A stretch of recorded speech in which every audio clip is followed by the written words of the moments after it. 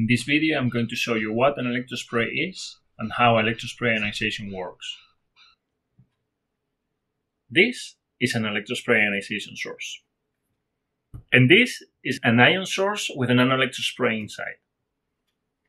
Ionization sources like this work connected to a mass spectrometer and tell us the molecular composition of things. One example of an application is the analysis of proteins. Ion sources isolate and ionize the molecules so they can be manipulated with electric fields and detected with electronic sensors. The electrospray is at the core of many ion sources. It is the bridge that connects molecular biology and electronics. How does it do it? It starts by applying a high voltage to a droplet. Ions suspended in the liquid migrate to the surface of the droplet and accumulate in the area where the electric field is more intense. Normal droplets are rounded due to surface tension, but with the ions accumulating in the surface of the droplet, the electrostatic force pulls the liquid surface out. When the voltage is high enough, something remarkable happens. In this case, at about 6 kilovolts, the electric forces equal the surface tension and the droplet turns into a cone with an extremely intense electric field at the tip. A microscopic jet emerges from the tip of the cone and breaks into a stream of tiny droplets. The electrospray produces a spray of tiny and electrically charged droplets, hence the name.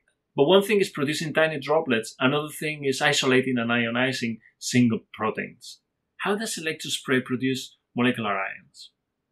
Electrospray droplets are very small and evaporate rapidly. As solvent evaporates, the electric charge is confined into a collapsing volume.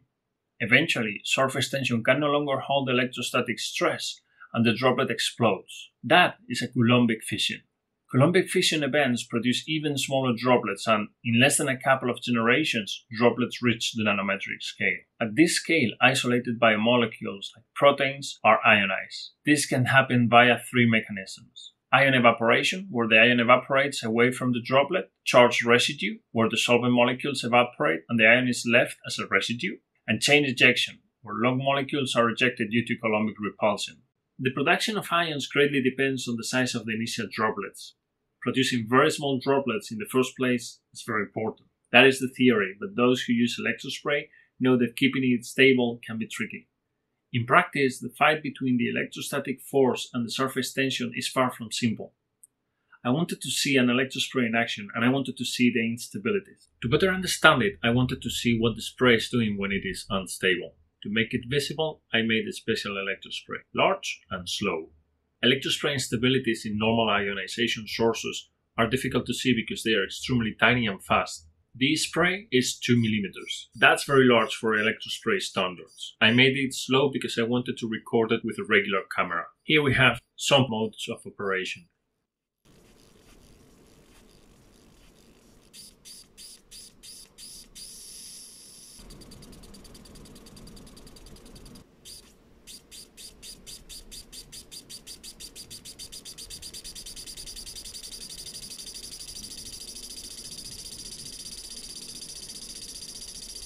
Obviously, I'm not going to ionize anything with this, but this setup is fun to play with. Let me show you how I did it. The basic recipe is simple. An electrospray requires an emitter, in this case I'm using a plastic tip, a counter electrode, normally this would be the inlet of the mass spectrometer, in my case, it's a metal plate. I use a cell phone with a macro lens to record this. This one is about 15 euros in Amazon. A plastic tube connected to a syringe to pump the liquid. A sewing pin to apply the voltage to the liquid. And a disc to insulate everything. To do this, you will also need a high voltage power supply. I happen to have one at home that can give me up to 10 kilovolts.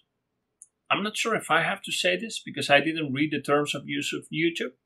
Just in case, here's my disclaimer don't do this at home. I also use Morse code state that I would like to admit. Making a stable electrospray can be a challenge even with professional equipment. Filming a large electrospray is easy because it doesn't require much magnification and because it's slow, which means we can capture its movement with regular cameras. But making it is difficult because it requires a very high voltage. Sparks can appear before the spray even formed. To compensate for this, I use soap because the surfactants reduce the surface tension. This means I can operate at a lower voltage. Plus, the viscosity of the soap makes my spray even slower. I also added vinegar to increase the conductivity. Wow, look at that. Here we have three jets merging into one. Multiple jets form when the voltage is very high and that meniscus is coming out like a strange creature. And here we have a stable electrospray, the so-called cone jet, the unicorn of electromicrofluidics. This brings me to the sponsor of this video. I founded Fossil Ion Tech in 2016 to make electrospray and nanoelectrospray systems for mass spectrometry, proteomics, and metabolomics. One of the most effective ways to improve the quality of your data is to use the best emitters. This will help you get better and more stable electrosprays. The sharp singularity emitters are micromachined and provide very accurate geometry with a constant inner diameter and a very sharp angle. There is a link in the description. To integrate them in your workflow, you will need to optimize the spray voltage, position, and so on, as that sweet spot is unique to each configuration. But this investment will soon pay off as you get better results more consistently, and we will be there to help you. In future videos, I plan to discuss common tips to improve the stability of the spray. If you want me to develop a particular topic, please let me know in the comments.